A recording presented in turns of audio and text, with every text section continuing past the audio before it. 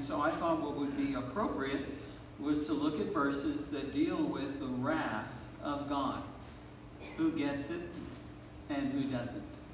So uh, if you'll have your bulletin ready, and these are from various portions of the New Testament. He who believes in the Son has eternal life. But he who does not obey the Son shall not see life. But the wrath of God abides on him.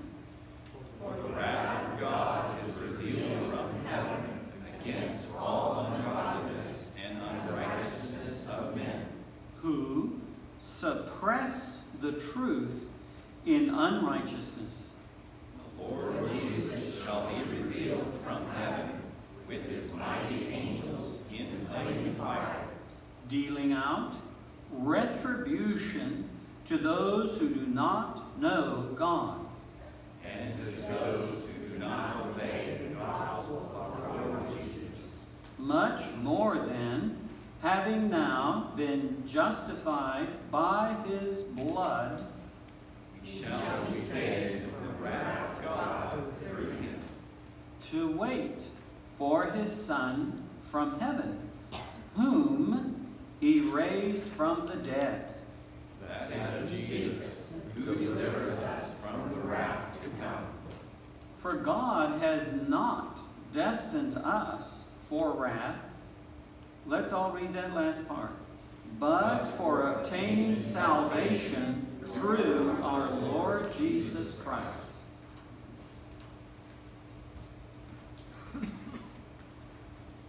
Good morning. Good morning. Invocation. You've seen it in, the, in our schedule today. We see the word on our bulletins almost every Sunday. According to Webster's dictionary, one of the definitions is a prayer of in, in, entreat used at the beginning of the worship service, a, prov- a petition for help and support. It reminds me of the, of the uh, Psalms, especially Psalm 12, where Jesus cried out at the very beginning, Help, Lord. And that is what we're going to do today. Bow your heads, please. help, Lord. Our nation is in a mess. We ask for Holy Spirit revival to begin in our churches and spread throughout the nation that again we will truly be one nation under God. We thank you for your love, your patience, and your mercy. As, Amer as American celebrates Father's Day, today we ask that you help us become wise and loving fathers. For the fathers who are no longer with, with us, we appreciate them for what they did right and forgive them of what they may have done wrong. In Jesus' name we pray. Amen. Amen. You may be seated. You may be seated, yes. Yes, please. You still have your hymn books open, just turn over a few pages to 271, Standing on the Promises. Yes, I know we're going to remain seated. That's okay. We can still trust God.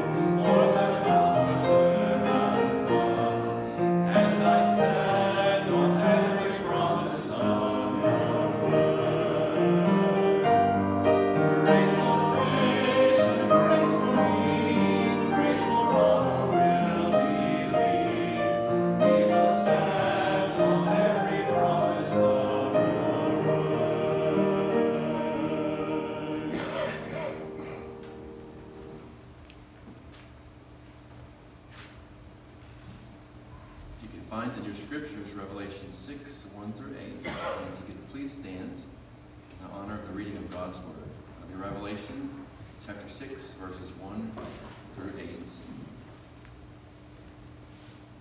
Now I watched when the Lamb opened one of the seven seals, and I heard one of the four living creatures say with a voice like thunder, Come! And I looked, and behold, a white horse, and its rider had a bow, and a crown was given to him. And he came out conquering and to conquer. When he opened the second seal, I heard the second living creature say, Come! And out came another horse, bright red. Its rider was permitted to take peace from the earth, so that people should slay one another, and he was given a great sword. And when he opened the third seal, I heard the third living creature say, Come! And I looked, and behold, a black horse, and its rider had a pair of scales in his hand. And I heard what seemed to be a voice in the midst of the four living creatures saying, quart of wheat for denarius, and three quarts of barley for denarius, and do not harm the oil and wine. When he opened the fourth seal, I heard the voice of the fourth living creature say, Come! And I looked, and behold, a pale horse, and its rider's name was Death. And Hades followed him, and they were given authority over a fourth of the earth to kill with the sword, and with famine, and with pestilence, and by wild beasts of the earth.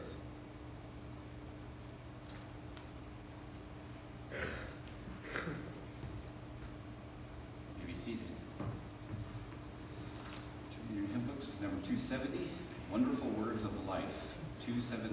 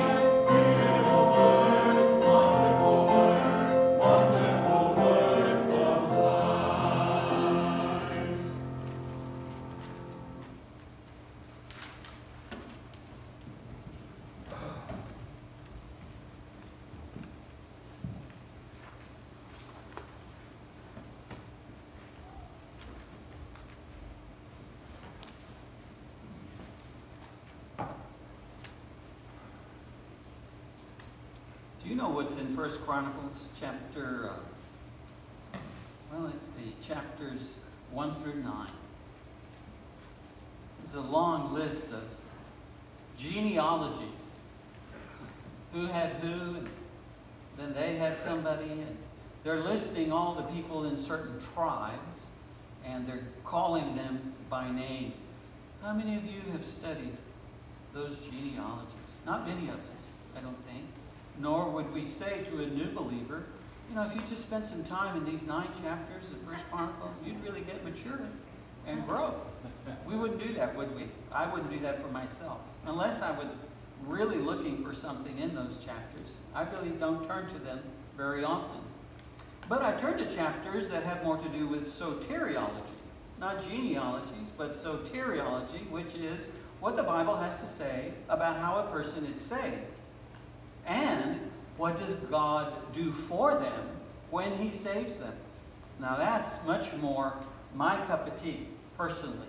And so I trust that that is something that you are interested in and find verses that you memorize that have to do with salvation or Christian growth, what God has done for us. There's another aspect of Bible teaching called prophecy. Now this is a cup of tea for special people, in my opinion. It's not something I naturally am drawn to, but there are believers, this is where they live for. Man, they just love to study prophecy.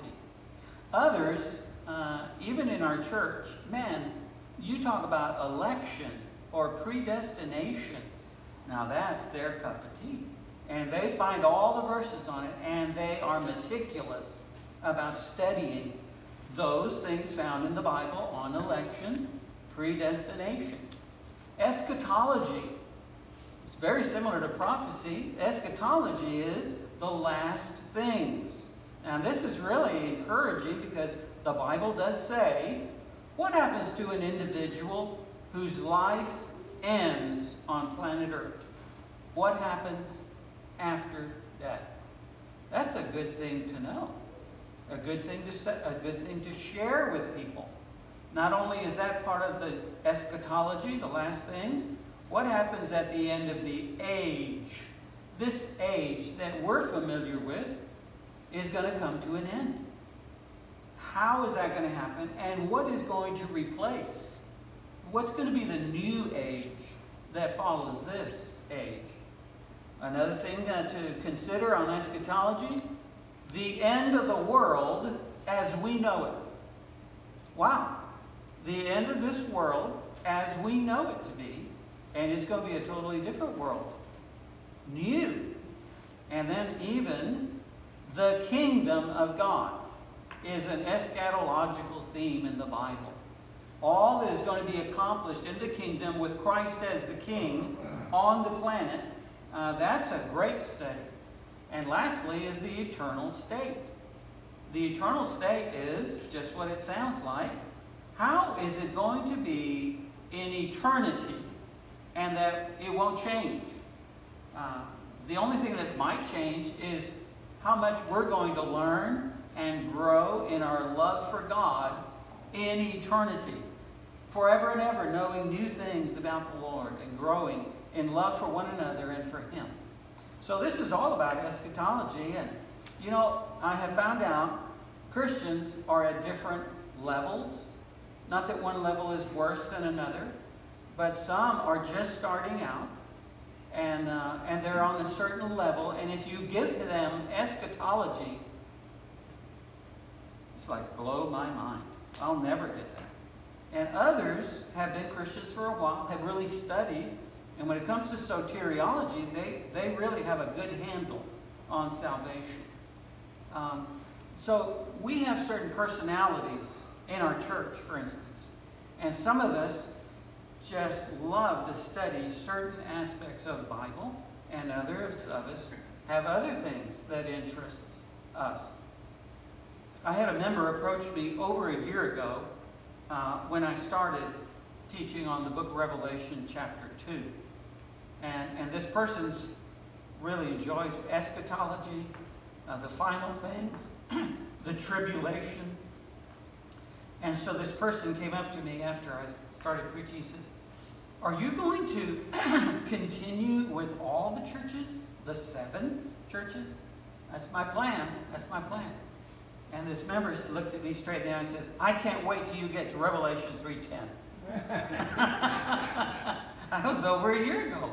This person has been waiting over a year for me to get to this verse. Because for them, for this person, and for many others, this is a critical verse, an interesting verse.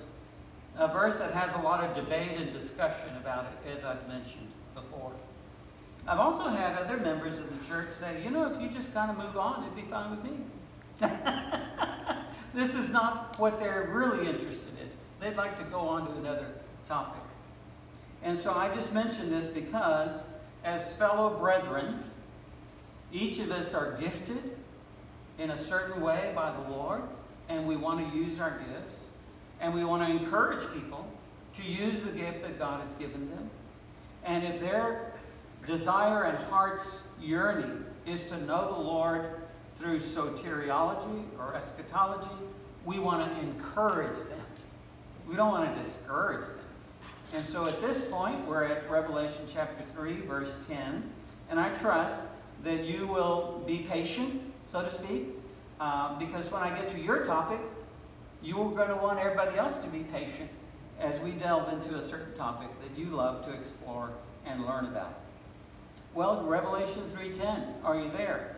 Uh, I want to read it again. This is probably the eighth time we've read it, but I can't even remember all of it. I don't have it memorized, and it's just good to recall. These are the words of Jesus to the church at Philadelphia, who is in the middle of great tribulation and struggles. And some are dying. Others don't have work. Uh, some are in prison because of their faith in the Lord Jesus. So he says to them, Because you have kept the word of my perseverance, I also will keep you from the hour of testing, the hour which is about to come upon the whole world to test those who dwell upon the earth. So just a kind of a quick summary, you see that he's, in a sense, blessing them for being persevering in loving him and obeying his word when it really is costing them quite a bit.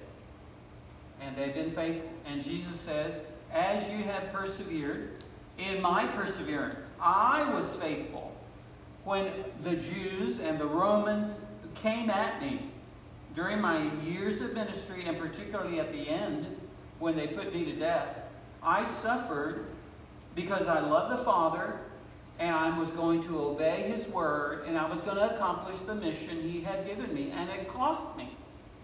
And just as I loved the Father and served in suffering, so have you, saints in Philadelphia. You have loved me, you have not abandoned me, you have been obedient to the scriptures, and because of that, I want to assure you, I'm giving you my word, I will also keep you from the hour of testing. And I mentioned there are different views on this verse, but almost everybody, I can't say everybody, but almost everybody agrees. This hour of testing that's going to hit the whole world uh, and that is going to affect every person that dwells on the earth is the time called the tribulation. Almost everybody agrees on that. And so what it appears to be saying is that Jesus is going to keep you from this hour, from the tribulation, um, but then there's the other view. And some say, yes, he's going to keep you, but you're going to be in it. You're going to be right there during the tribulation. And so that's what I want to discuss a little bit about this morning the great debate about what exactly does it mean that I am going to be kept from the hour of tribulation. So uh, there is a group, basically, they're called post-tribulationists, and they say if the tribulation is seven years, for the sake of argument, they, they don't say there is seven, but let's just say there is. Uh, they would say that believers, all the believers alive on planet Earth, are going to continue living and enter into the tribulation. And it's not till the end that Christ comes, at the end of the seven years or so, and that's when Christ comes and rescues believers in out of the tribulation. So we come out at the end of the tribulation. Those are called post-tribulationists. And then there's the second group, and I think most of you know me. I've been here long enough. I would probably be a pre-tribulation, well, I am, not probably, I am. Uh, I am a pre-tribulationist, which says, I believe, that Christ comes and takes Christians before the tribulation starts. All right? So all the believers leave, only unbelievers are left. that start the tribulation. But if you have studied some of this, you know that the gospel will be preached to the entire world during the tribulation. And God doesn't fail to save all those He has planned to save during the tribulation. So there will be believers in the tribulation. But it's not, in my opinion, those who go into the tribulation. It's those who turn to Christ, hearing the gospel, the 144,000 Jews, and others who will be sharing the gospel. They will be saved, and they will go through the tribulation. In my opinion, they will suffer. This will be great suffering. They will not be in a bubble and be protected. They're going to experience the wrath of God just like anybody else. But you have to remember, the gospel is being preached now, and many of them could care less about the gospel. And so Christ said, well, when you're in the tribulation, I'm still going to save, but I'm not going to save you out of all the uh, horror that's going to take place. But he says to the people who are saved in the tribulation, persevere, continue with me. And if you persevere to the end, you will be saved. And there will be greater temptation there to reject Jesus. And a much easier way out. You'll have food and a variety of things that the government and everybody else will want you to have so that you will reject the Lord. But it will cost you if you continue to walk with Jesus. This is all unsubstantiated from the scriptures, just from years of learning what the tribulation is going to be like. So this morning, what I'd like to do is really spend time where the opposite camp is post-tribulationists, what they teach and where do they stand. And, and that's what I'm going to do this morning. Uh, you'll see that I don't agree with everything they say. They don't agree with everything or much of what I say. But we do have a lot of things in agreement. Post-tribulationists, as you can see, there's about five points that I'd like to cover. Uh, the first three on this list, I would say, is where we have most of our agreement. I didn't say we have total agreement, uh, but we have a lot of agreement with each other uh, on the first one, for instance.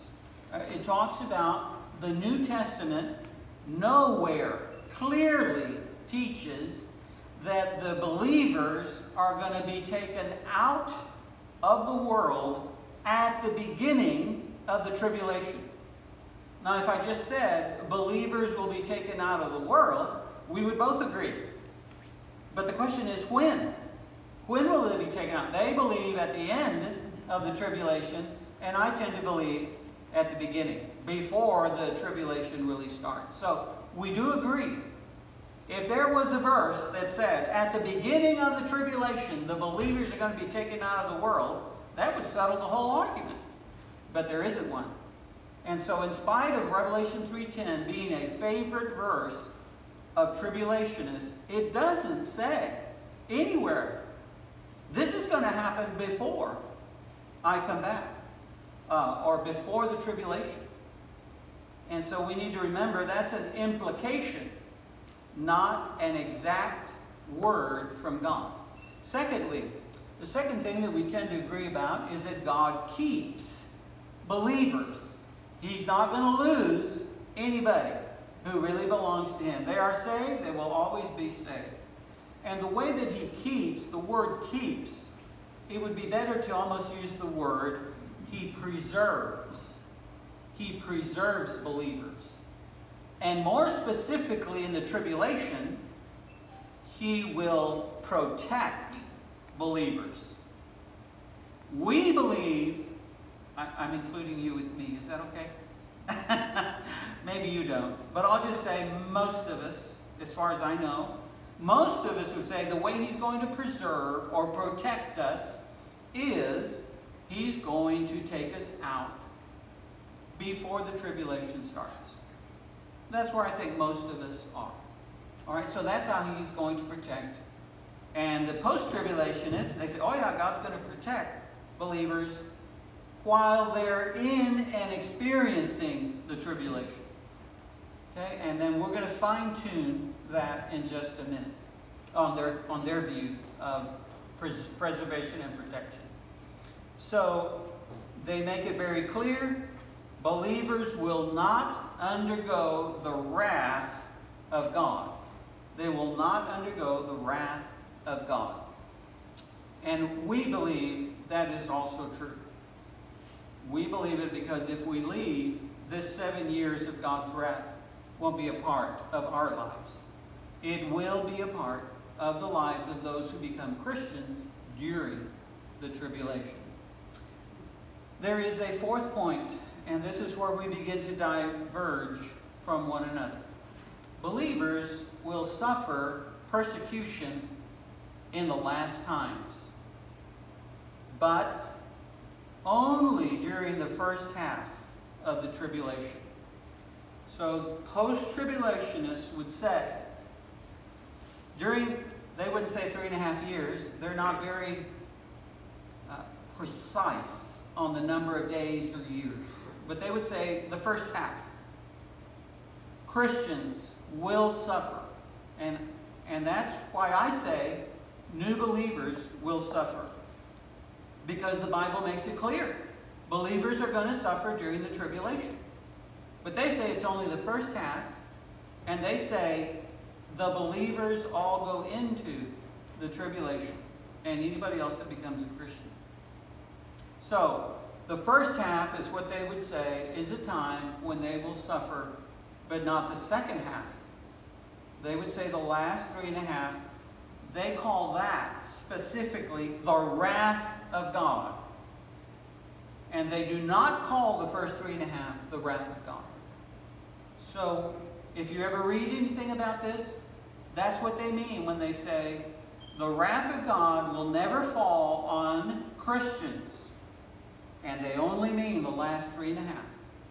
And they will have a bubble, so to speak. God will somehow protect them. And they use, if you notice the very last words on there, they use the Egyptian experience as an example. The plagues, and particularly the climax, the last one. The firstborn, everyone was going to die. And God came and He says, Now you put blood from a lamb on your doorposts, and when the angel of death comes, you will be spared of all the firstborn. And so they never experienced that.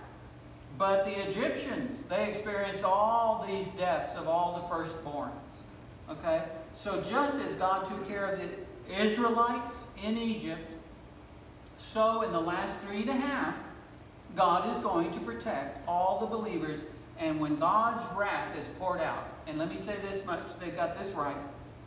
The amount of wrath in the last half is extreme compared to the first half. And there is wrath in the first half, but it is extreme. And so that's why they call it the wrath of God. And they say now Christians will not suffer during that portion of the tribulation. They'll be kept from harm in the last half. And they use Luke 21, uh, 34 through 36 as one of their reasons why they will not suffer. Christians will not suffer in the last half. And we're going to go there in a minute. As I mentioned last time, we were in this verse. No one, particularly myself, is able to clear up all the discussion, all the debate, and give you the final word. This is it. This is going to resolve. I cannot do that. No one has done that for all these years. But what I can do is point out what is black and white. What does the God say specifically in Scripture that I don't see how anyone could interpret it any differently. And I'm going to try to stick to the black and white rather than the gray. Um, I respond first to the fifth point. I want to start there, and this is where post tribulationists specifically say believers will escape God's wrath in the second half. The second half of the tribulation. And they use Luke 21 to support that. So I'm asking you now to turn to Luke chapter 21. And uh, if you're at verse 5, you'll notice Jesus is walking in front of the Jewish temple. It's a huge edifice where they would worship God. And they would bring their sacrifices, the priests, and they would worship. It's just a huge temple. And they're walking by it. And the apostles hear him say, The day's coming where not one stone of this huge thing will be on top of each other. In other words, is going to be completely destroyed. And they're like, wow, really? And so you see in verse 7, they begin to question him. Teacher, when, therefore, will these things be? What will be the sign when these things are about to take place? Can you tell us? So that when we see the signs, we'll know it's coming. Now in Luke, the emphasis is first on the Jewish temple, which was destroyed in AD 70. If Jesus died in 33, the year 33, in the year 70, the Romans completely destroyed the temple and overtook Jerusalem. All right? So it did actually happen, literally, of the building. All right? But in this passage in Luke, Christ also includes the end time tribulation. What's going to happen in Jerusalem in the end time is that they'll be surrounded like the Romans surrounded and took the temple out in the year 70. So if you want to look that up, it's in Zechariah 14. And you'll see again, Jerusalem is being surrounded in the end time by all these nations that are going to destroy them.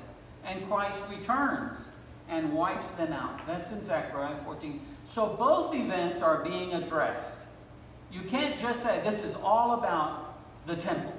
That's all it is in Luke 21. No. If you look, for instance, at verse 11, verse 11 isn't just about Jerusalem and the temple. There will be great earthquakes, and in various places, plagues and famines, and there will be terrors with a capital T, terrors and great signs from heaven. You're going to feel like the world is going to fall in and just completely fall apart. That's what he's saying. Well, that never happened in year 70. Now, it happened emotionally for the Jews, but it didn't literally happen, as it says in that verse. So Jesus is intermingling the temple destruction and the end time destruction. And some of them are very clear. You know exactly which one, like the one we just read. That's the end time. So between verse 5 and verse 19 is the first half of the tribulation. Starting at verse 20, there is an increase of issues.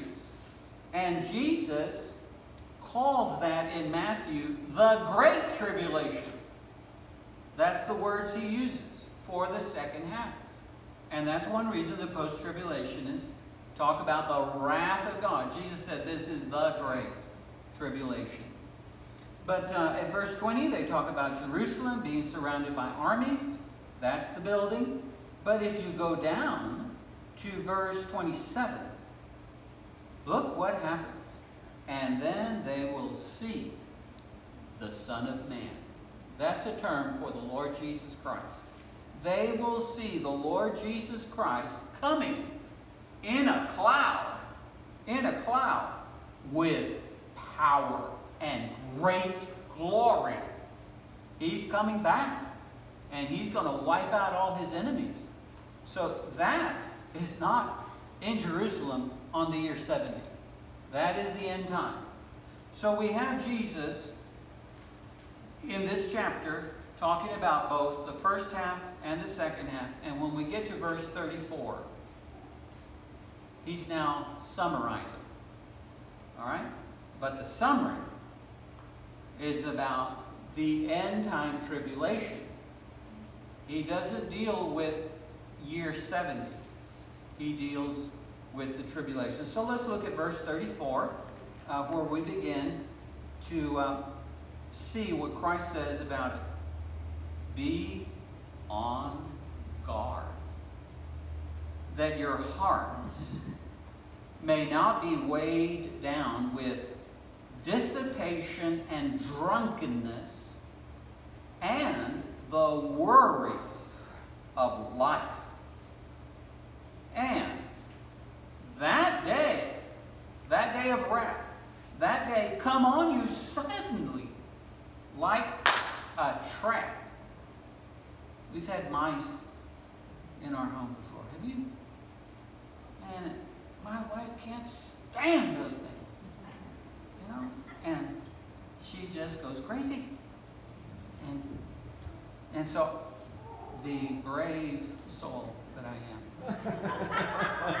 I get all kinds of traps. You know, I'm going to get a bunch because I, I want it to die. I'd rather not mess with it. So when I hear, oh, that is great in my ears, I let them wiggle a little bit, you know? And then afterwards, I go, I go get the thing. She wouldn't touch it with a 10 foot pole. Right? I don't know if you ladies are like that, but so there, Jesus says there's going to be, and when that tribulation starts, you are caught. You cannot escape. It's going to go to everybody in the whole world once it happens. So Jesus says, be on guard. Now, that word on guard doesn't just mean figure out when I'm coming. No one knows exactly when he's coming. He's talking about our hearts. Did you see the word heart? Where is your heart? Is your heart with dissipation and drunkenness and the worries of this life? Is that where you're focused?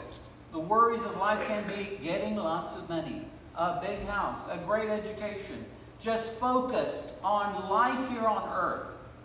And obviously, there's drunkenness, there's immorality, there's all these temptations that we face every day. And Jesus is saying, be on guard that you don't compromise, that you persevere with me and according to the scriptures. You're going to obey the word of God and you're going to suffer even before the tribulation. Many Christians in our country are up in the air because our government and the people hate the message of the gospel. And, and much of that is all over the world in worse times. I mean, they're getting slaughtered in many countries because of the gospel. So, Jesus is saying, keep your heart loving me. Don't compromise there. And stay in the Word, teach the truth, live according to the Bible. That's what he's saying in verse 34. So that when that day comes, you're not going to be in the trap. Verse 35. This trap, it will come upon all, all those who dwell on the face of the earth. No one escapes once it starts. It's on the, all the earth and all the people. Verse 36. But, in contrast to the tribulation that's going to affect the whole world, keep on the alert. Keep yourself alert at all times. Why? Because we don't know exactly when it comes. No one knows. But if you're ready, it doesn't matter what time it comes. If you are alert and you are on guard to love the Lord and obey His word, you have nothing to worry about. But let's go on. Keep on the alert at all times. An example would be praying. Praying in order that you may have strength to escape all things, all these things that are about to take place. And I, I need to stop right there. Praying in order that you may have strength. That word strength is a verb, it's not a noun. In other words, there is an action on your part and my part. At all times, we are to be praying for strength. It's the same word used in Genesis where Joseph is receiving a blessing and he is being attacked. And then after the attack of bows and arrows and people trying to kill Ephraim and Manasseh's tribes, it says the mighty one comes to help. And that's the word here. The all-powerful God acting to protect Joseph and his two sons, Manasseh and Ephraim. So, this is a verb. You can strengthen yourself in the love of Christ and in obedience, that's what you pray. Oh Lord, that I would never compromise and follow or diminish my love for you. I don't want to do that. I want to grow in my love. And in spite of all the problems that I have, financially, physically, whatever, relationship wise, I pray I will obey and follow what you said to do. That's what he's talking about when he says this is how you're going to be strengthened. Let me put it in a word from Revelation 3:10. Persevere. That's what he's saying. Strengthen yourself in the love of Jesus and in his, obeying his word. Persevere with him and the scriptures in order for you to escape all these things. Now, this is the critical point between us, I believe, most of us, and the post tribulationists. They would say the all there only refers to the last three and a half years, not to the first three half. So, Jesus said, I am telling you, you can escape all.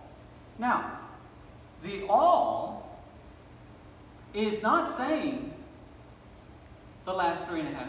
It, it's nowhere near there. All is all. It's going to affect all the people in all the world. And all these things that I've talked about in the previous verses, all of them, you can escape. You can escape from all these things. So to only limit it to the last half, in my opinion, is not doing logical, biblical, contextual teaching. In this context, Jesus is talking about everything he's talking about, not just the last half. And notice something very familiar. All these things that are about to take place and to stand before the Son of Man. So I wanted to read to you from Revelation 3:10. Notice these words. The testing will come upon the whole world. That's what Jesus just said. The testing will come upon the whole world to test those who dwell upon the earth. That's, that's what he just said. So this verse and Revelation 3.12 are parallel passages. They're talking about the same thing. Same thing. But I cannot say Jesus didn't mean all when he said all. I just don't think that's logical. Um, and so this is why I differ from them. Um, now, I will tell you this. This may complicate it, but it's, it's what they do. All right? The word escape, they interpret the word escape to be the same thing as Revelation 3.10, kept from the hour. How do they interpret kept from? You go into the tribulation and you go all the way through it, and particularly the last part, you are kept from the wrath of God. You have a bubble, and the wrath of God will not harm you, but you will be there, and you will go through it, and at the very end, you'll be raptured at the end of the seven years or so. So that's how they interpret escape. Escape means you're still in the tribulation, but you won't be hurt in the last three and a half years. You will in the first three and a half, according to them. And I'm going to have to deal with kept from, hopefully next Sunday, God will, and this word escape. Does it really mean you're going to escape, but you're going to be in the very middle of the whole thing? You never leave. You go through it. Post tribulationists teach believers will suffer persecution in the first half. And I'm quoting them. I'm not quoting what I, this is what they say. The persecution in the first half of the tribulation will be upon believers because it is not God's wrath that's hurting believers in the first three and a half. Because that persecution is from Satan, from the Antichrist, demons, and wicked persons.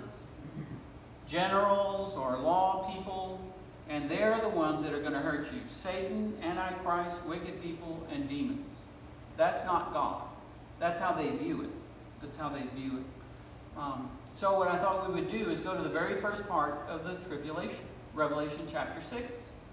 Does it say, really, that God is not involved or that God doesn't have wrath at the very beginning of the tribulation? Like God's not involved or God is not doing it. Revelation chapter 6, verse 1. And I saw, this is the Apostle John, and he's been taken up into a vision to see the future. And so he says, I saw when the Lamb broke one of the seven seals. And I heard one of the four living creatures saying, as it were, with a voice of thunder, Come, like calling out the one that's going to ride on the horse.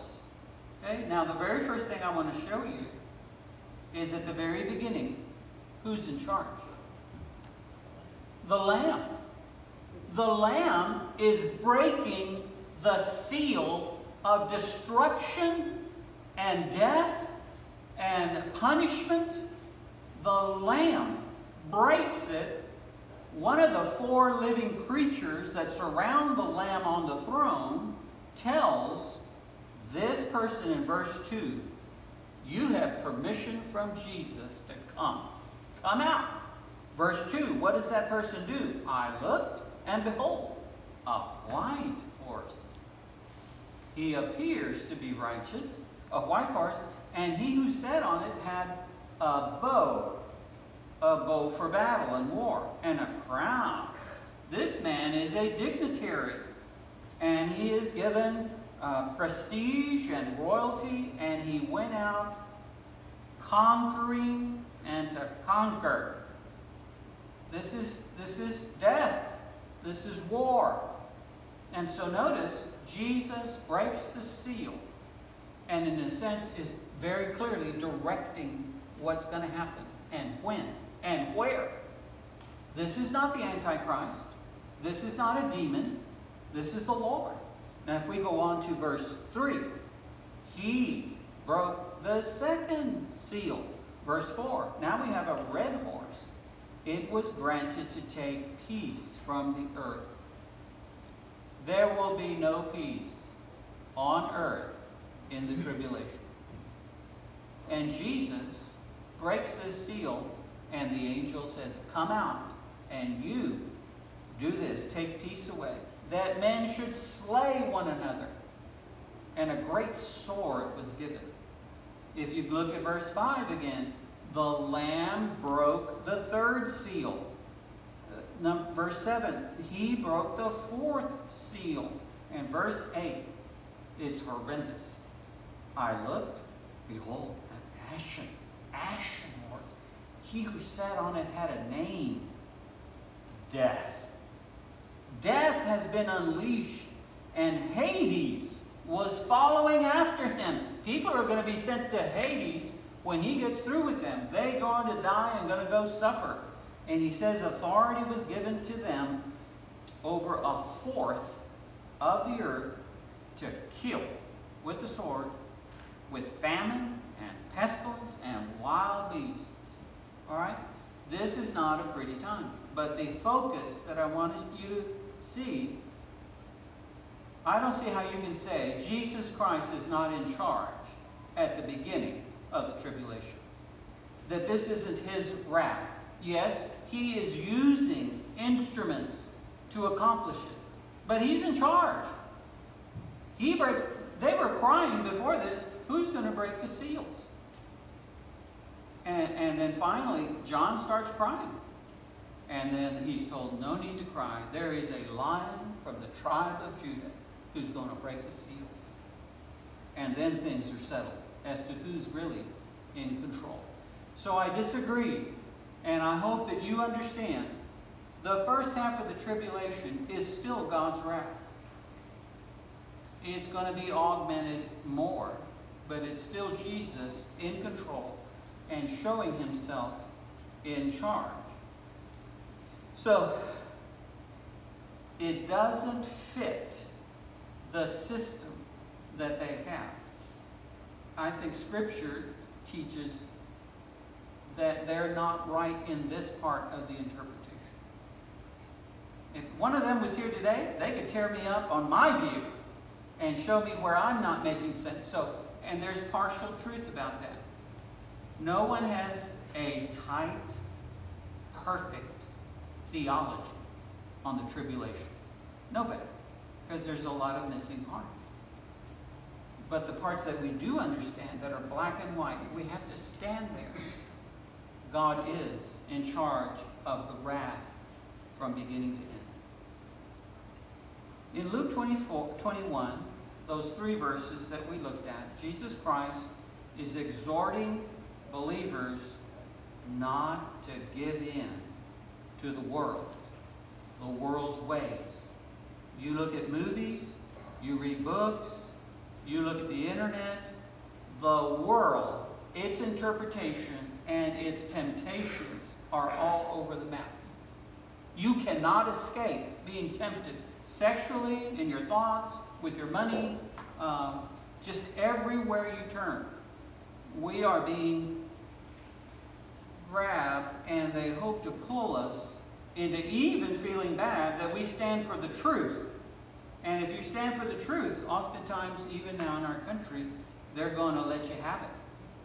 Financially, in the courts, or even beat you up. If you're at the wrong place at the wrong time, so to speak, and they, they find out you're a believer, it's not a pretty story anymore. It's getting worse. So Jesus is saying, he's exhorting, don't give in to the world's ways. Stay alert. Pray that you may have strength, his strength, his love. And, and the Philadelphian believers persevered. And, they, and Jesus said, just like I persevered, he wants you to persevere. He wants me to persevere. He wants you to persevere. Don't give in. Don't make excuses. Don't compromise. Love the Lord with all your heart. Know His Word and say, Lord, help me to live with your power according to the Scriptures. I don't want to give in. We too must constantly watch that we don't give in to sin and to temptations. Our flesh is strong. Satan is strong. The world system is strong. Retired pastor Steven Cole um, once worked at this swanky, swanky hotel in Chicago. It's called the Drake Hotel. And in July of 1959, Queen Elizabeth uh, was scheduled to come and visit Chicago and stay in the hotel. Now, it was not public knowledge which hotel. Okay? Part of that is security and other issues. So elaborate preparations were made for her visit, not just by that hotel, but various hotels, the upper end scale. And so uh, the waterfront along the Chicago um, shoreline, man, they cleaned it up and they were ready for a ship to dock when the Queen was going to disembark. When people called the Drake Hotel asking, you know, you're one of the finest, is the Queen going to be there? Well, you know, they're not allowed to say that. Then they'd have thousands of people, so to speak. But anyway, this is their response. We are making no plans for the Queen. Our rooms are always ready for royalty. Always. That's how they answered. And that's how we're to live our lives. Are you ready to see royalty? If the Lord Jesus appeared in the clouds today, are you ready? You know, they did a lot. Do you know they, they painted trash cans before the Queen came? They painted trash cans. They had the red carpet ready. Uh, they did above and beyond and made special preparations, even though publicly they didn't say they did. But they did. The finest food, everything. There was not a little detail overlooked at the Drake because this is the Queen. Is there a detail in my life, in my soul, in my words, in what I look at, where I walk to, what I read, what my motive is? Is there any detail where it's not ready for Jesus to look at? And if you remember, at the end of Luke 24, it says that you might stand before the Son of Man. We will give an account. And when we get there, it's going to be too late to try to clean up. You know, the, the time has arrived. The world is gripped with fear. There are frightening things already, all over the world. Already. And they are fearful. We should be filled with hope, not fear. The Lord is on his throne. He is directing his plan. And if you love Jesus and you've been saved by him and you are walking with him, you have no fear to worry about all this. So, Christ is coming. Does that help you at all resist temptation? Does that help you? Do you even think about it? Does it's supposed to help us. He's coming. I need to be ready. He's royalty. He's my Savior. By any chance that Christ is coming, will it help you say no to lustful thoughts? No to how you spend your money? We're accountable in every area, not just thoughts, money, behavior. Am I ready? He's coming soon. Did it change anything about last week in my life? The Lord is saying, I'm coming. And may you and I have hearts that love Him and are preparing every day to be with Him and to be ready, should that be the day you see Him face to face. Lord, we're so grateful for the encouragement of your word and the truth of what is black and white, and that you are calling us to be on guard. Stay alert. The world and Satan, your own flesh, will take you away from me. And Lord, we hear that through these scriptures today. But we also hear persevere. Stay in love with me. Show it by the way you live. And when I see you, you said you will. Say, good, well done, faithful servant. What a joy. May we live that way, Lord. That we not just have tribulation facts, what side I'm on. As important it is to know the truth, it's really more about you, how I'm living. Thank you for the encouragement of your spirit today. Mm.